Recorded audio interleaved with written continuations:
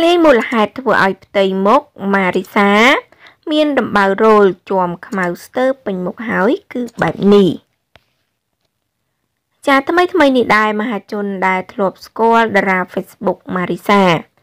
មានឈ្មោះលើបណ្ដាញសង្គម Facebook Marisa FC ហាក់មានការចាប់អារម្មណ៍យ៉ាងខ្លាំងបន្ទាប់ពីរូបនាងបានបង្ហោះរូបភាពបង្ហាញផ្ទៃមុខខ្មៅជាំធ្ងន់ធ្ងរ មើលទៅពិតជាពិបាកមើលយ៉ាងខ្លាំងលើពីនោះរូបភាពខ្លះនៃផ្ទៃមុខរបស់នាងក៏មានសភាពដាច់ឈាមថែមទៀតផង ចាធ្វើឲ្យមហាជនមានចម្ងល់ថាហេតុអ្វីបានជាផ្ទៃមុខរបស់នាង ទៅជាបែបនេះចាស្រាប់ពេលជាមួយគ្នានេះដែរម្ចាស់ទំព័រ Facebook មួយឈ្មោះថាតវ៉ាន់ចលើម Official ចាដែលអះអាងថាជាមិត្តរបស់ Marisa បានបង្ហោះរូបភាព និងសារមួយដោយបានរៀបរាប់ថាអ្នកឯងមិនរួចខ្លួនទេ ត្រូវទទួលខុសត្រូវលើមិត្តរបស់ខ្ញុំ ពេលគ្នាល្បីយកទៅប្រម៉ូតកន្លែងខ្លួនឯងមិនទាំងឲ្យលុយផង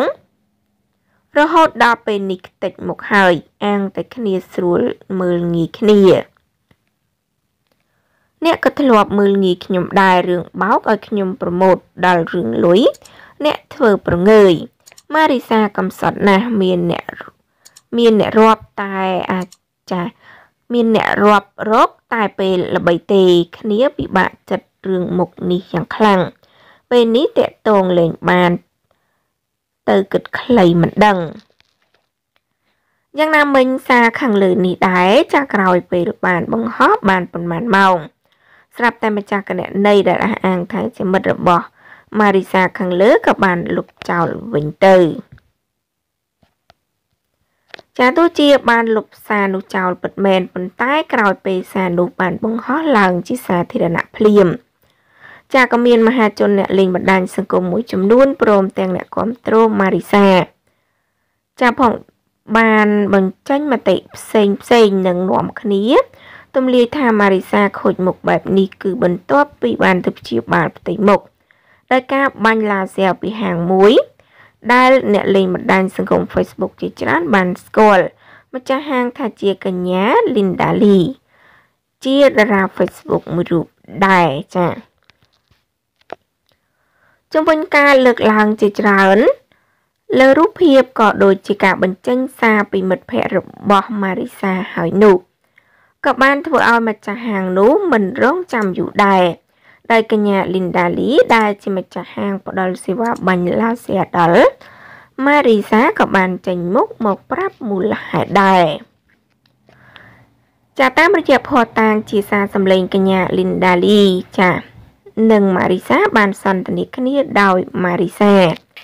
បានស្នើសុំការបាញ់ឡាស៊ែទៅមុខស្នាមរបស់នាងពីកញ្ញា Linda Lee ចា ហើយក្រោយមកផ្ទៃមុខរបស់នាងប្រែបែបនេះព្រោះម៉ារីសាមិនបានស្ដាប់តាមការណែនាំថែទាំផ្ទៃមុខក្រោយបាញ់ឡាស៊ែហើយនោះដែលនាងបែរជាទៅបិទត្រសក់លើស្នាមរបួសកំពុងព្យាបាលតាមរយៈសារសម្លេងនោះដែរម៉ារីសាក៏បានប្រាប់មូលហេតុដែលធ្វើឲ្យមុខរបស់ខ្លួនជាំខ្មៅនិងរបកចិញ្ចៀមដែរដោយសារនាងចេញទៅថត និងទម្លាក់សក់ ត្រូវមុខចាដែលទៅនឹងបាញ់ឡាសៀហើយនោះចាប្រិមត្តពុកម៉ែបងប្អូន ជាទីមេត្រីសម្រាប់អត្ថបទព័ត៌មានដែលនាងខ្ញុំបានជម្រាបជូនបងប្អូននៅពេលនេះចាក៏សូមបញ្ចប់តែត្រឹមប៉ុណ្ណឹងចាហើយជាចុងបញ្ចប់បើសិនជាបងប្អូនពេញចិត្តនៅវីដេអូនេះសូមជួយចុច Subscribe និងសញ្ញារូបកណ្ដឹងដើម្បីទទួលបានព័ត៌មានថ្មីៗជារៀងរាល់ថ្ងៃផងដែរចាសូមអរគុណសូមគោរពលា